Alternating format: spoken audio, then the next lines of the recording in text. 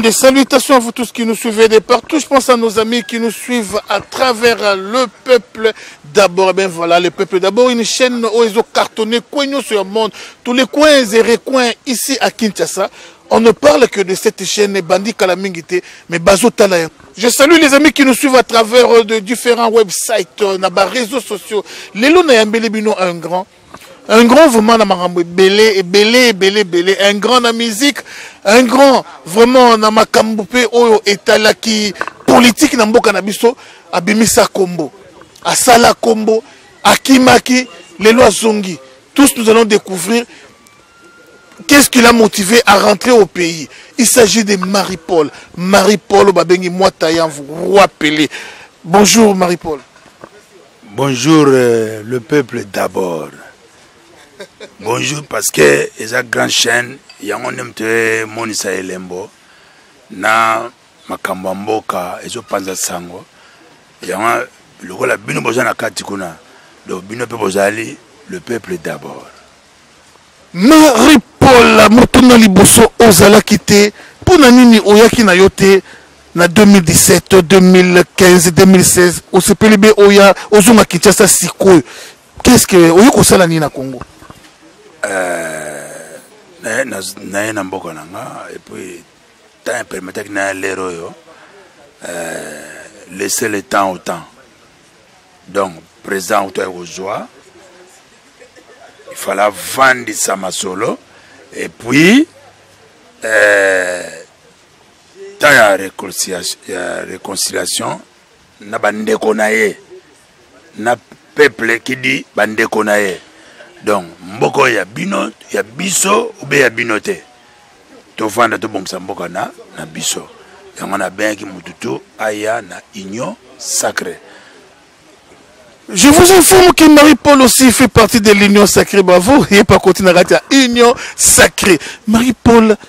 obimaki mboka ndenge nini yebisa ngai okimaki eloni esalaki owumela mpe na poto boye ozozonga su kongo te comme d'habitude depuis kala nazalaka kuna mais nayaka mpe mingi banda el paris esalama akoma kozala trop kin parce que oyo ezali source miziki ya mboka miziki oyo ya biso source nango ezali awa donc funa azalaka awa nayeba ebele na panza sango toza na deux chapitre ya koaborde lelo tokolobela makambo ya musique mais musique na deuxième position mpo olingi okotisa nga na, na, na domaine wana nalingi tobanda nano na, na, na, na makambo ya mboka c'est très très important makambo ya mboka marie paul eza nango secret te mpa bato nyonso ke okay? mboka ekamamaki malamu te na regime oyo ya kabila alors yo ozali parmi bato oyo bamonaki mboka ezalaki malamu te yango basalaki lokola konyonga yo konyokola yo kobotolo bapasseport nde okimaki mboka sikoyo pouvoir ezwami mpa mwana mboka ozongi marie paul yebisa biso mpo yo obangaka na yo te mpo ondiri ozomela mwa maloba yebisa biso nanu regime wana souvenir nini oyo oza nango ya regime oyo euti okufa euti osila ya kabila bon bato baza na souvenir wana bo bavivaki yango hein. bo bamonaki bisengo na yango ngai na peuple en tout cas toza na souvenir te toza na souvenir ka ya mabe donc tokobosana yango te depuis bafrançais ti lelo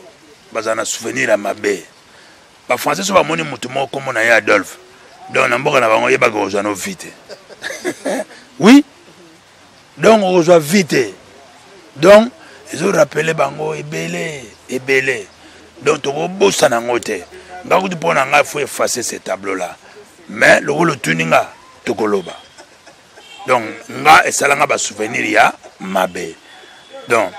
oyebisanga nanu euh, vie makambo nyonso ya mabe eleka na régime wana sor nini oyo ozo reservele la kabili mpo na yo esika na bango ezala na prison esika na bango bazonga lisusu nde bakotikoti na union sacré to esika na bango ezala wapi esika na bango ngai naza chef te ya kozwela bango décision décision na bango eza likolo ya mesa na mwana abotami lelo na abotami lobi na bato babotami liboso bakole eza na table donc eza ya kobomba te eza na na table justice ekosala mbano na yango ekosala batravail na yango justice eza vers le peuple peuple moto afundi bango peuple moto afundi bango baza bakosamba likambo ya nzala ya peuple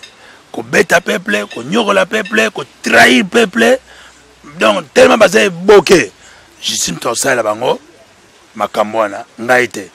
biso toza na pouvoir kaka ya biki biki kaka biki yango biki mde memi bango place oyo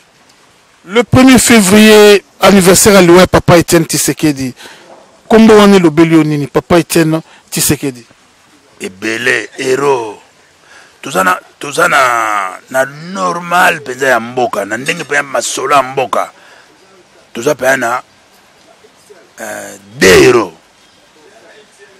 na bonzambe na esprit ya bien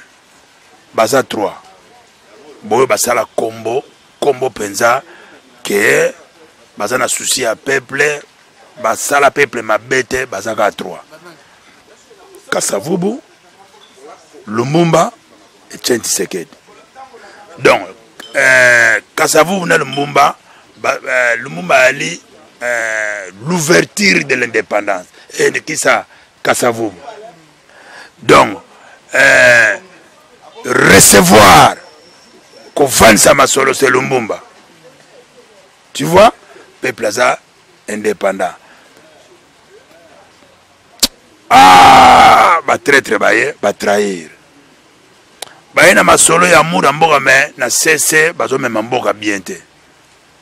tisekedi ase retire avandisi masolo abundi abundi pendant 32 ans acontinue so abakisi 37 ans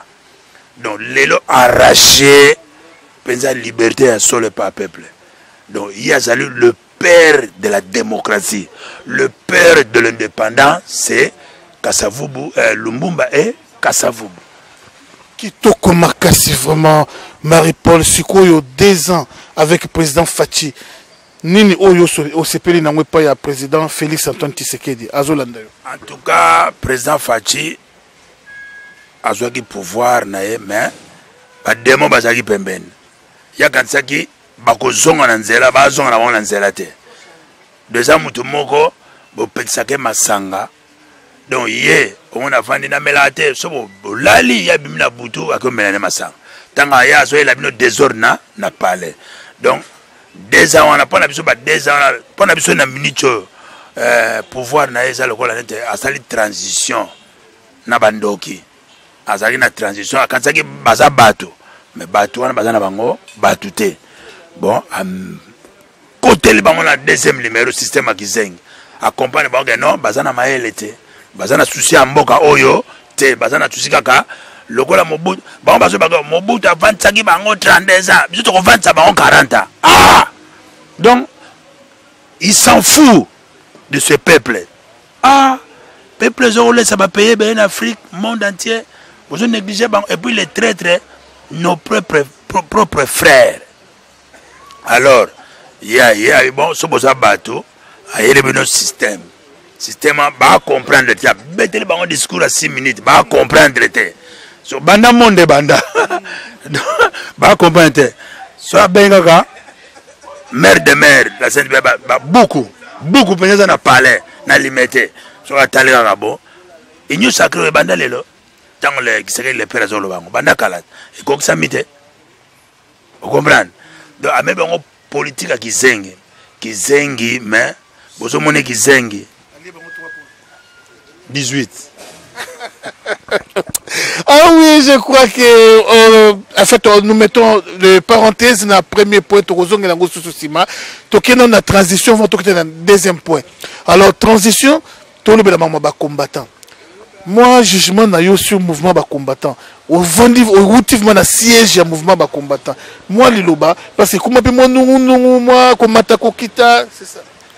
nungunungu eza te esika mai ya bien ezali ezalaka toujours baproblème donc mai ya bien le bassin d'afrique hein? c'est le congo la gachette eza awa esika makambo ya bien eyaka mabe mpe esala nini eyaka na lokuta moto ya lokuta oya mpe na lokuta mpo amburie bato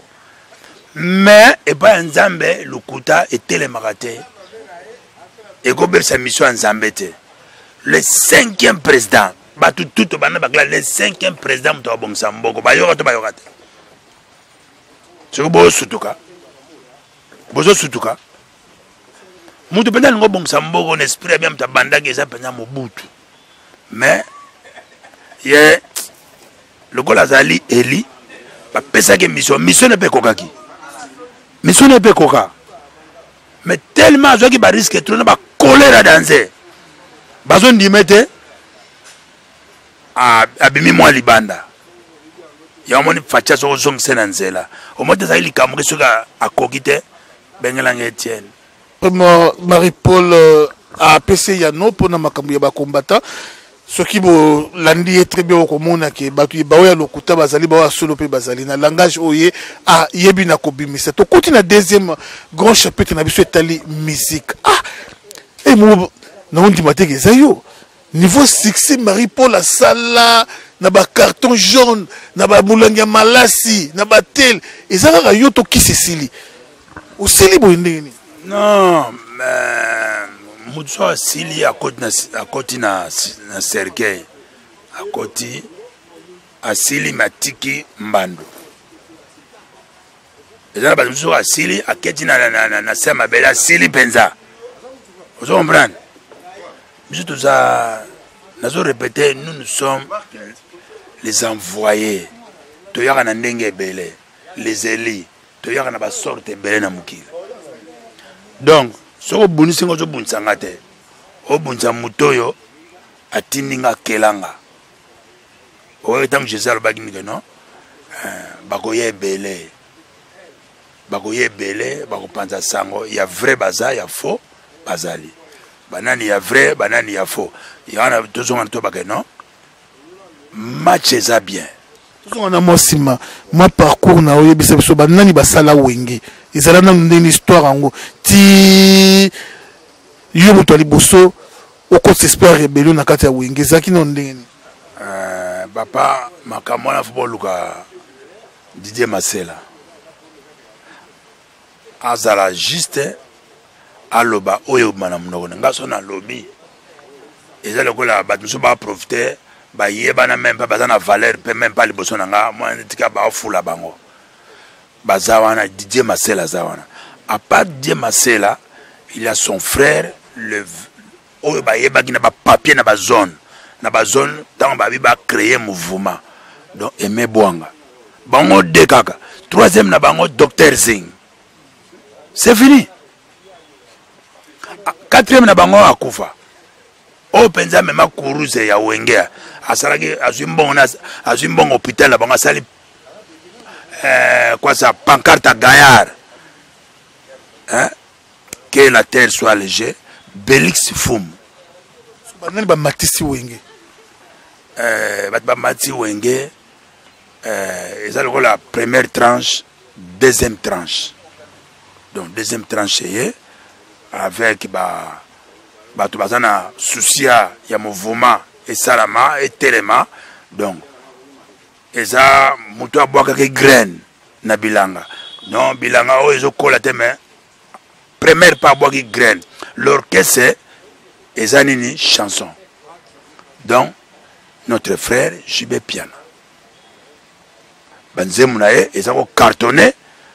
ya koleka bato bazalaki wana epuis abimaki mener azoyemba trop ntango azoyemba trop nzambe azofungolola ye c'est fini il faut reconnaître c'est comme ça tozalaki na bango bango mpe le temps ekoki epuis place ya difficile marie paul akende kosala orchestre na poto esimba mpe evanda okomprendre lisolo nini yango eleka na mega concert giga concert je crois oyo esalaki yo kwei lupemba no ekemba moko wera récupéré lupemba na yo nga na moto non eh, avant na ya giga concert boyebi ndenge ebandaki te giga concert eza makambo ya politike toyembelaki le feu papa musée mais déjà wana toza kozala toza kozala toza kozala na frère wana tozozala na biso tozozala lingo bakeno le commencement tozalaki na classe bazo bano euh, nani adécouvraki embouchure yafutinaki makasi mailiolu mpe mbaka non balobi balobi na mokili quelqu'un abebisa na yo mokili eyeba me bamoni yo na ye soki batuna ah motu wana amanka yobi te botika so tosungi eloko wana te na biso akosunga yango ngai nabaki tokoma ebele tokoma ebele tozala ebele mpo tosunga kiti wana ya clan wenge alors ntango bamwangani makambo ya stade wana kuta après ayaki na tongo na tongo kokoreko chez moi bien du bien du bien parle mon frère sunganga kotika nga te euh, bakei bango nyonso totikali kaka 3 personnes natali ne batikali 3 personnes mobulu wera adolphe na didi masela eh, na petit fere onyoraka ye te petit wana eh, eh, wana ayebana nanu vraimen te ayebana te me azalaka bebe na bino akobotama abotami lelo papa na mama bakabwani lelo bokoboya bebe na bino boboya ye mère ake oui mère pour le moment hein, awa nanu mike yate bokawa na père kena na bebe mais bebe wana kena mère esi bobosana ye bobosana ete asa botami akuti mvuluba mais mère ya bino en attendant na ke bino boya te ah tozalaki 3 tobotamaki 4 donc mère akena petit na biso mais biso tobunda mpo torécupere petit okomprendre sikoyo oyebisa ngai na, na ndenge spirituel eloko nini elekaki na giga concert wana mpo okimi eloko wana ndenge ya spirituel mpo kokweya kaka yo okweyaki wana mbamba kowera arécupere ye nakweyisaki yo na, na, na bamoto na ye nazalaki moto ya show bino boyo nazalaki moto ya show epuis ngai bayebaye ngai aroi pele quand j'entre place oyo eh, makambo ezali nazalaki moto ya show pele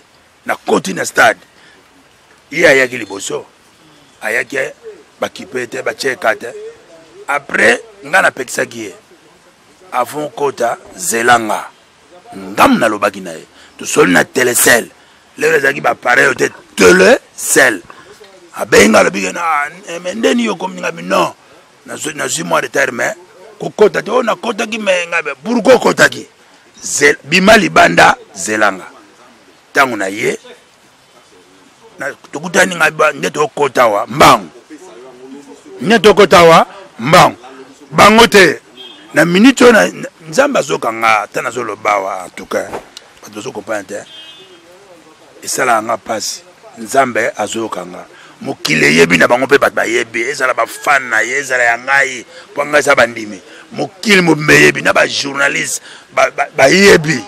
na koti na ye tobandi mbango ye azalaki moto ya mbango ye azalaki moto ya basuki ye azalaki moto ya bamakambo wana bango te makambo wana nabandaki na bango te na biso bango no bokomona bokomona bamona mpe makambo bamona ye azalaki sage aye vere nga aleli ntango aleli tosoli na ndenge ya chabwala nakotika frere ton frere aye pembeni na yo tu es mon frère obosana ye joseph ntango bandeko nde bayaki abosana ye bango joseph na egypte ata basalaki mabe c'est mon frère ntango amikitisi aye vere nga c'est mon frère lisolo vraiment ntango tokoti mvuluba donc nalobi na omoni mvuluba tokweya après nga comme nayaki na weston donc bon erreur nga aza moto ba donc na, na glissaki na pelise wana munu tapi wana na glisse na beti shit na telemi ntango na telemi epesi bien nakei na poto bato bakrie wo après nabi nasali mosala na nga nabandaki na yo tobandi na ndako oye oye mpa na nga momi na bino eh, toyabi tokenda pale mere tovanda biso 3 secret eza kaka biso 3 momi na ye ayebi te me nazoloba deja te biso 3 3 wana esili tokutani na frai tosali makambo tosali makambo makambo esalama esilama esopana tosala soki opesi motu lipago ya teko orapele napesaki olipa oh, les gens alipa nanga te esekwei kita lui motema na ye oyo oyo soit disant ke bayebi nzambe ozo comprendre juge nga temoin na nga mpo ni areconnaitraka yo te wera areconnaitraka yo te eza bisenga mokili un jour un jour bzwa kopo un jour soki akufi atubeli te akeli felo soki atubeli mwa porta lola ekofungamela ye yokangeli ye vraiment donc non tema aza ingrat epa na yo je n'aime pas les ingrats awa nazoloba ke moto afongole moto aboyaki graine mpo movume esalama ezalaki nani ezalaki nani hein mais nayebi nani notre frère JB non bowanga nango mais ye andimaka JB te te yesu yesu aondima ete na nini te yebisanga aondima ye te na nini mpo na nini mpo ayaki na libaboma akuta bino aye okoti orchestre yango yo ondima ete wana jalousie ndako batonga yango koba yango na masomo mosusu bamasomo lolo ezalaka ya nani mpo oyekala ba ezalaka ya ye nzemba mololo eza ya jibe ide moto apesaki ide babakisa mololo mololo ya dabo eza nzembo ya wenge te eh. le mot la mololo il y a des orchestres aussi ba oncle biso babeta super fieste soki oluki bato abani otimo oncle mololo surtout na yemba yango oyoka mpa stino te eza eza langage ya bato ya bandundu na, na stratégie ya jibe vie nico abi ah namoni nze mwana lokola refrain eza te zwa eloko oyo esala bien eza lelo so babi justice ce super fieste bakofunda wenge okay, bon. tomoni marie paul nayebi te eza lutte contre la vieillesse oubien ndenge nini marie paul azochange te soki otali marie paul ya kala na ya lelo azogarde toujours ki un aspect na ye azochange te mais so omoni jb mwa kokola ye mwa mingi otali wera mwa kokola ye mwa mingi secret eza nini sekreza ni tomono vraiment onuni te mutu na mutu aza na ta na ye mutu na mutu bato mosusu bakokokisa eh, akoli tozwa vie gina soki ozwi vie gina na génération ya langalanga vie gina mwana kaka bogar jeune donc wana eza makambo ya nzambe wana eza makambo ya nzambe soki ozoluka mpe na ndenge ya mabe okende na pende ndenge mabe tozo garde mm, se namelaka masanga mpenza tro te surtout bawiski namelaka te naza moto ya badrink te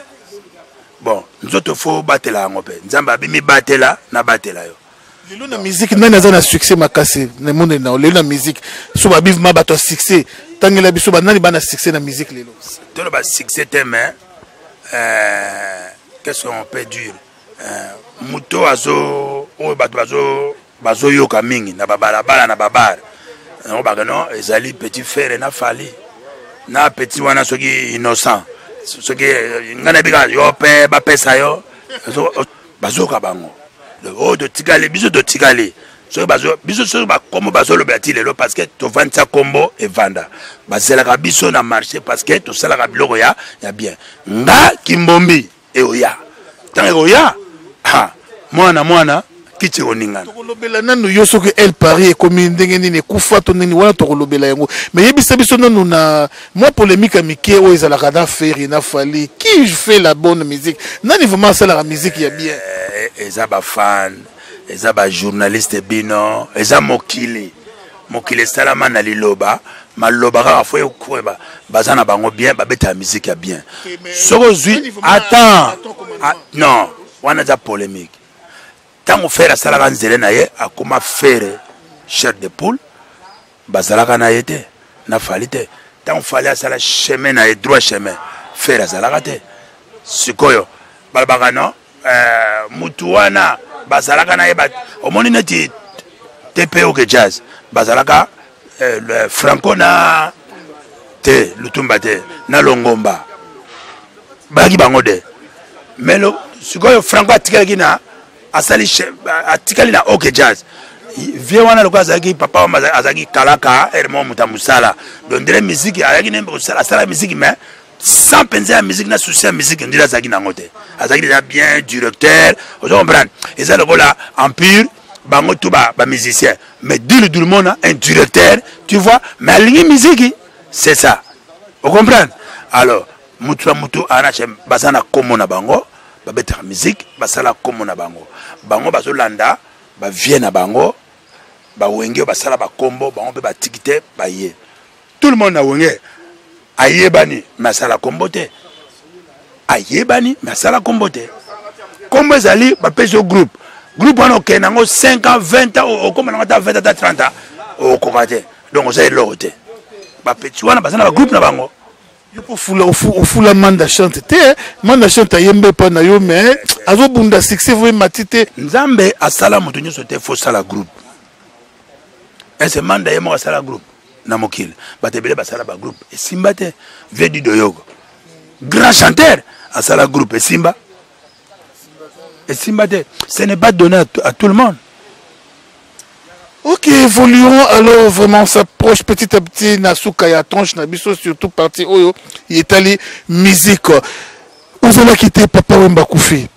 ozalaki te lutumba vie lutumba akufi ozalaki te werason eh, nani uh, king kestere mene akufi na bamisie ba nyonso bakufa nani amarka yo makasi liwa na ye marka yo makasi uh, liwa emarkaka makasi ezali king kester na papa wema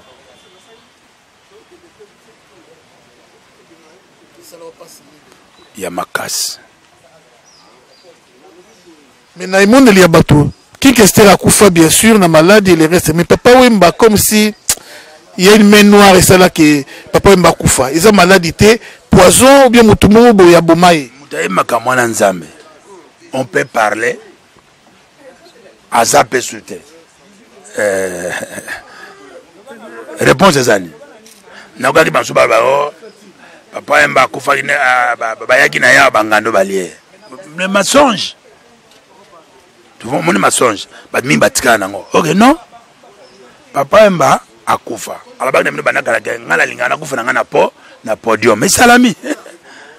esalami si, eh, si, si avait le, le, la main noire derrière nzambe ka moto ayebi marie paul el paris ah, baza mabende te papa emba azelaka bango na mamosu na colère jour kaka kuta na moto meno yaki na nsima kofi kuna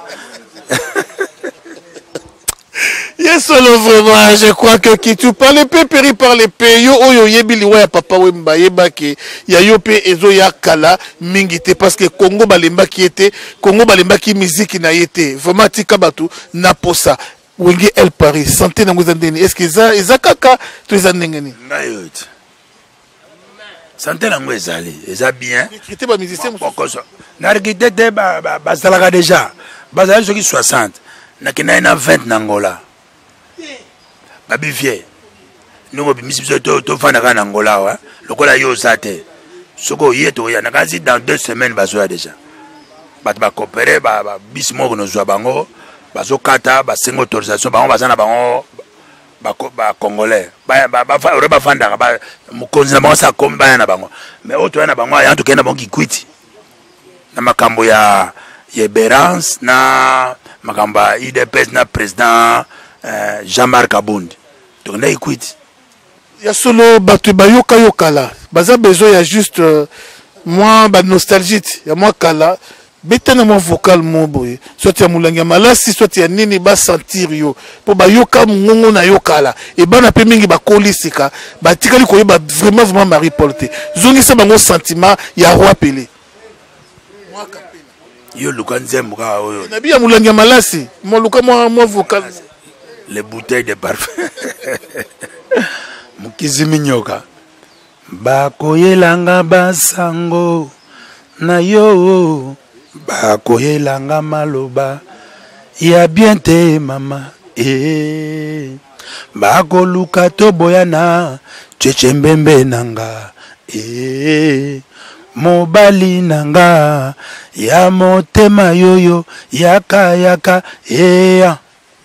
ya solo vraiment namoni ndenge bato baza kosepela na bandako vraiment bayoka marie paul kala baretrouve ye ya solo vraiment marie paul wenge ebimaki na kashe ya victoria ntango ebimi boye bato bamituna o oh, victoria akester amisisi mwa sika alors mongongo ya king kester wana eza wera to eza yo bato bazalaka na confusion place wana mongongo ya king kester wana oyo ebandaki koyokana na, na wenge wana bato bayebi na bango soki balingi bamona ke non eh, banani baza na kashe wana ngai aza na kashe ya vie kesi na vie gina nazwa somo intelligence nabenda eh, mopero okomona wa maloba bon ye nayebi te eh, mpo bato bayebake nani moto aza na kashe wana batya batija micro batya biso epazala grand chanteur wera mm, nga naboyi te selon yo selon nga te mais selon yo wenge vrima bagrand chanteur vrima eza banani balini vrima bagrand chanteur bazalaki tro na bato bayebana be na bato tu mpo na nga tozalaki ka trois chanteur JB ngai Blaise. Yo JB na Blaise. Ah! Kibawera la rancunier hein. Si. Euh, rancunier na ndaku na yo na ba fanatique na yo. Wana eh, eh, obe na yo moko. Euh, soto bakisi. Soto bakisi moko ya suka. Obe mibale, mibale obe moko. Moko kaka manda. Ah, c'est bien, ya solo vraiment tokosukisa émission oyo te sans que eh, tobakisi su moko grâce petit frère alain mpela loso babi toke lopar wana trois personnes ah, bango de ah, c'est bon te mpenza bozoyemba mpenza public esepeli c'est ça oyemba mpe mololo bis nango nazalaki me babutu ebanda ebanda kala balingi nayemba te oyo oh, ye oh. osala bamiseni nango bamisi ebele balingaka yo te so balinganga te parce que lumière ndenge bato nyonso bazolinga ata mobutu azwaki pouvoir balinga mobutu te lumière te ndenge tisekeli azolobaloba telemi ndenge faci ayaki bato bazoloba trop bazokosa masolo o oh, bapesi ye pouvoir obona oh, boye système akizengi do lumière lumière balingaki na pasi ta bato bacomprendre bomona mvulu mo interprétation mpe ezalaka bien na besoin ya ointerprete mpe baninga musicien lokola yo nakotanga lokola papa wemba oluki mwa chamwa papa wemba tokanisa kaka ye tokei na king kester emeneya omeki kointerprete ye ekosala mwa bien yebisanga mwana mafifio nalembi koyoka bilobela ya bato nga nalembi yeyeye rigostar nakozoka na motema awa yokei ye banza mikolo poso oyo tovandi na yoko yuyu ya kozongisela ngai molema na nga oya ngai mabanzo mama nayembi na nzembo soki oboyi koyoka nakokacwa na nga ah, eza ebele ezoya lokola mbula eza ebele oh, wilona pam pam yeyeyeyeye wilo na nga Yeyeyeyeye, Wilo na nga, oya ngai nalinga, oya nga napona, mbembe, mbembe. Emezonga na bolingo yango, papi yaka, yeyeye.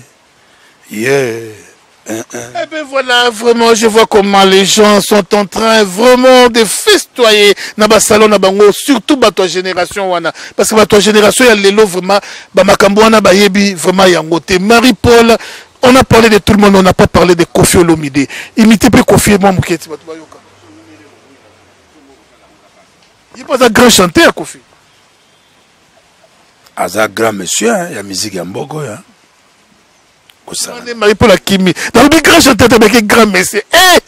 kofi afashe eh, en tout cas vieux ayeba ayeba déjà tout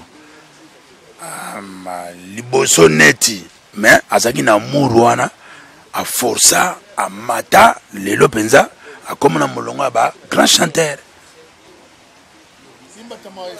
Parce que tu orchestre c'est vivant, caché, c'est Kofi. Alors, danger. C'est comme ça pozwa mbongo na mokili ebongi ozala ngolo mukisa lu losambo na yo epai ya nzambe Doucement, c'est malem, mama, mama, mama, mama. Yo kam ta yebi nzembo na ngana. Eh bien, merci. Je crois que maintenant, Tozo Pessa, euh, Wapele Maloba, oyo esengelaki apesa bino ko message soki ya de place oyo abosanaki vraiment tozopesa ye to message nini okopesa bato mpo totika yo mpo na mokolo na lelo message eza kaka no pepe congolais azala kimia azalaka liso likolo ya ya liso epuis noyesa meme bapeuple congolais na bacombattant to ya kisasa na ya poto liso likolo ya liso benediction yango oyo ezongi na congo kitano yango wana nzambe abotolaka biso aya kobotola biso yango susu abi moni ayebisaka bino peuple moko ralbol donc toni tozonga su te na bain wana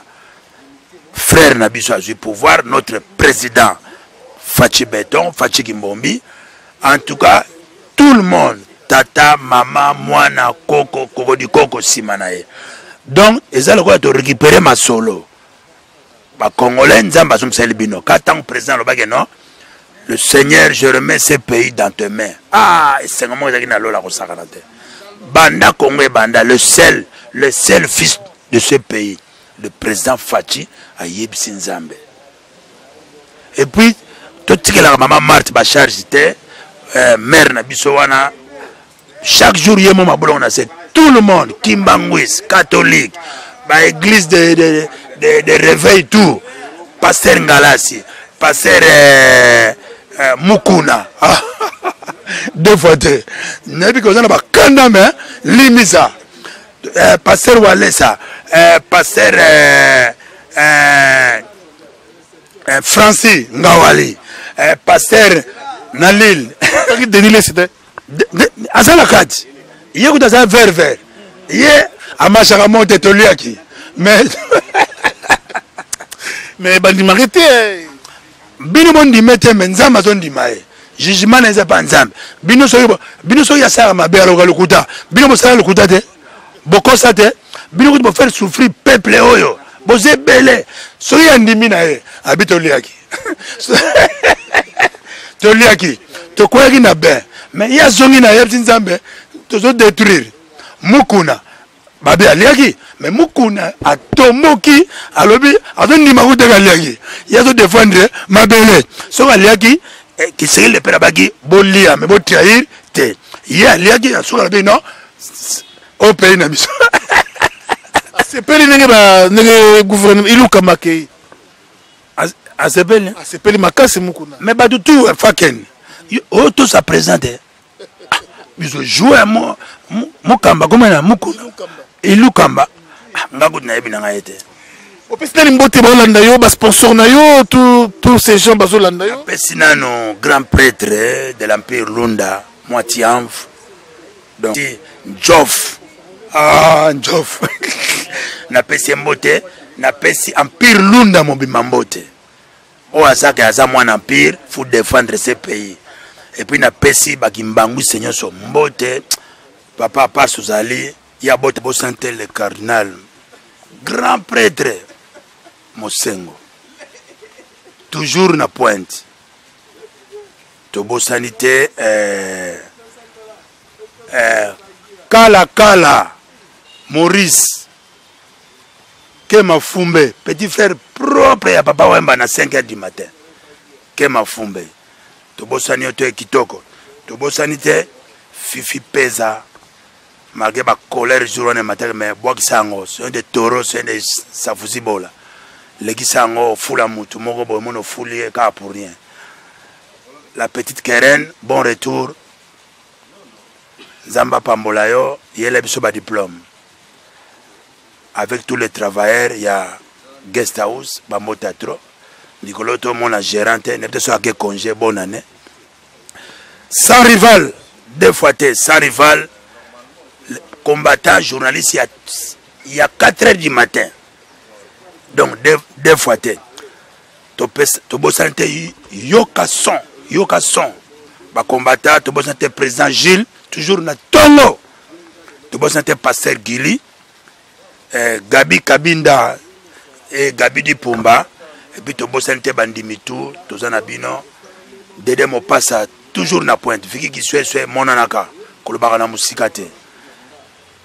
mokonzi colonel kasongo général kasongo le colonel euh, mupepe toujours mupepe mupepe eza partout tobosani te tijo changala hmm. yo batika yo tobosani te et puis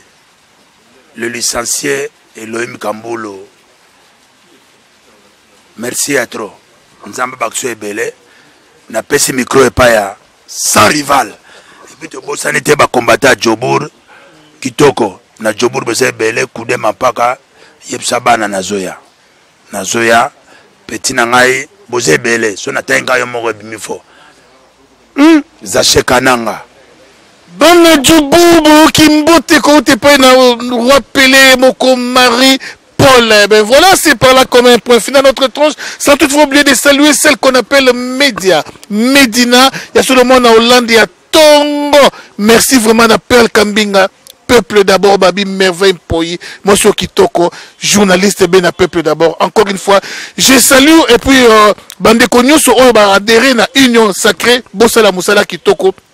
peuple azotalela bino merci encore une fois vraiment mokonzi ya mboka soki bakozala mibale oyo yo korepeshe na gouvernement oyo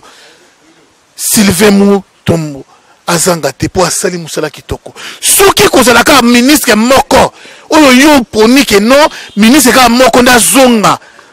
peuple aponi sylvain mutombo parce qu'il a très bien travaillé merci encore une fois na bandeko bayambi biso na cadre kitoko oyo guest house ezanga kombo bandeko tokutani mbala ya nsima